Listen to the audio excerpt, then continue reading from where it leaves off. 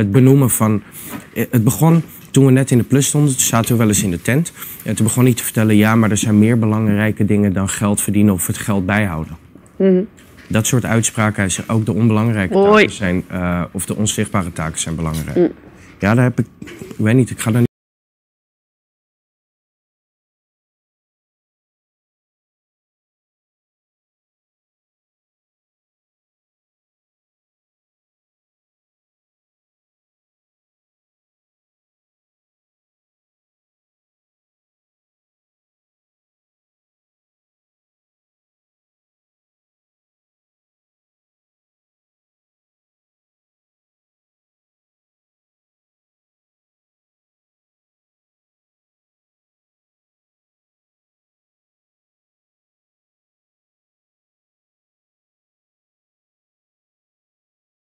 Niet dat hij verandert. Maar leg dan uit wat je motivatie is. Ja. Ik bedoel, ik weet het wel. Nou kijk, eh, ja, als jij het weet, ja, ik, ik denk dat, eh, ja, ik heb mijn eigen filosofie erover en ik begrijp ook wel, want op een moment, je moet je tijd hier op een moment gaan invullen. En dat, eh, Maar dat deed hij met in de tent liggen. ja, ik denk dat hij, daar, dat hij daar nu geen voldoening meer uit haalt. En zo doet Ik iedereen, dat hè? Want, lange zwaarder wegen. ja, oké. Ja, dat zou kunnen. Dat weet ik niet. Ja, zo heeft iedereen zijn, eh, zijn motivatie en zijn dingen dat hij hier doet. En ja, uiteindelijk, ik denk altijd van, ik laat iedereen gewoon lekker gaan. En eh, tuurlijk heb ik mijn zienswijze daarover. Maar iedereen moet dat uiteindelijk zelf bepalen. En ik denk dat mensen heel verstandige keuzes kunnen maken hier, hier overal. Wat voor keuzes? Nou kijk, als, als, het, als, het, als het situatie is bijvoorbeeld... hij kiest ervoor om dat te laten, nu te laten zien. Als een ander daar anders over denkt of die vindt daar wat van... dan zal hij dat altijd in, in, in haar of zijn overweging over, eh, in meenemen. Zo denk ik daarover.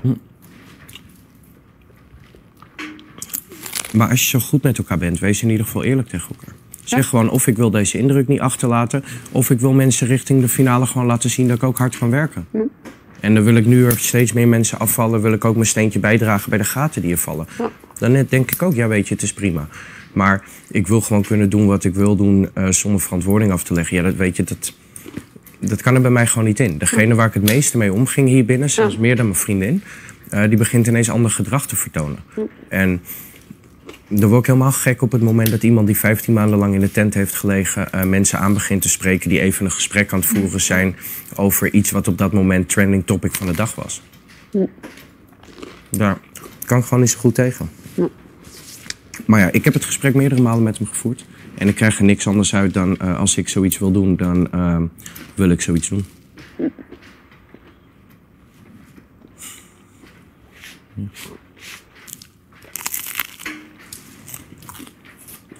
Maar de gesprekken en de negativiteit over ons lopen dus niet spuigaten uit.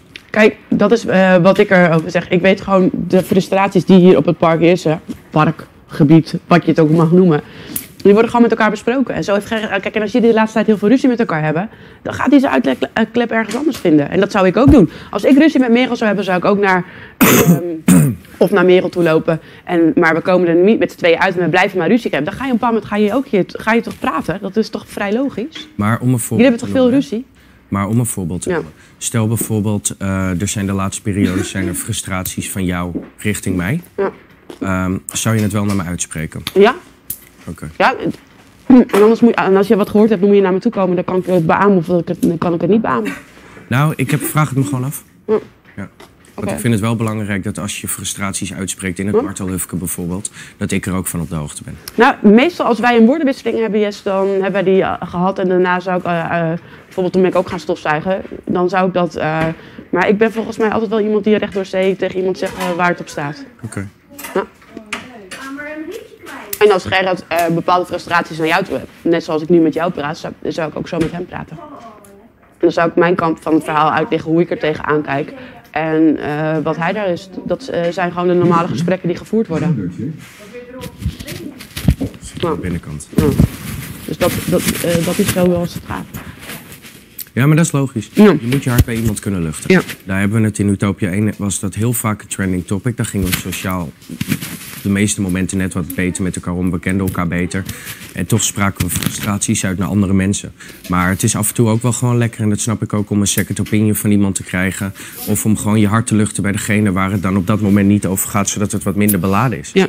Dat begrijp ik wel, als uiteindelijk het bericht waar je mee rondloopt, maar wel bij iemand terechtkomt. Kijk, net zoals dat ik met Merel regelmatig over Gers gedragsverandering heb gehad. En ook ze, naar onze mening, niet oprechtheid naar Frenny. Wat ik vraag, aan ben je verliefd? En dat kan hij alleen maar zo doen. Dat zijn dan dingen die ik, waarbij ik mijn hart lucht bij Merel, maar ik bespreek het wel ook met Ger. En dan is het wat mij betreft prima, zolang er maar niet een hele hoop dingen besproken worden waarvan ik zelf niet op de hoogte ben van dat mensen er op die manier over denken. Ja. Snap je? Dat is voor mij een beetje het verschil tussen Ja. eh, echt achter iemands rug om praten... of Ja. een second opinion vragen of je hart luchten bij iemand anders... en uiteindelijk wel met diegene een gesprek aangaan. Ja. Ik denk dat in eerste, eh, ik ga ervan uit in de dingen die ik hier hoor, dat hij ook altijd naar jou toe gegaan is. In de dingen waar hij zich, eh, waar ze- hij zich aan irriteert. Of als ik met jou een irritatie heb. Of als ik een irritatie met, met eh, Mariska heb. Nou, eh, volgens mij, ik heb niet heel veel irritatie naar Merel toe. En volgens mij valt dat ook niet heel erg eh, snel. Dus ja, dat is het enige. En volgens, ja, Oké. Nou moet ik je wel zeggen, ik, ik heb het uiteraard ook gehoord, maar ik heb ook gehoord... eh Hiske lopen in dat soort situaties weg.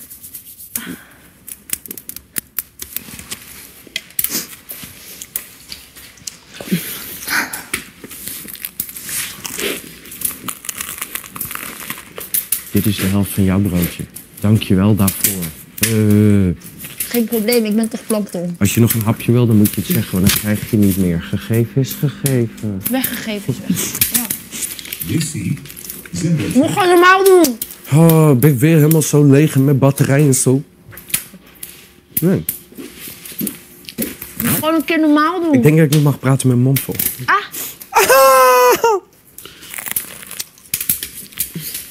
Oké, eh, heb ik nog tijd om te douchen? Kan één, iemand van jullie mij vertellen wie Speed S is? Vijf voor. Alle tijd van de wereld.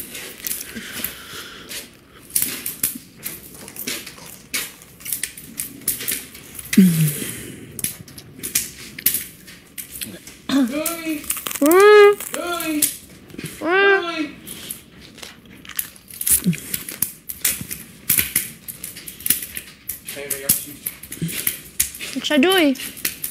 Ik zei doei. Waar is ze dan? Regen. Richting een telefooncel om te bellen. Regenbout. Lekker toch? Wow, vochtig goud.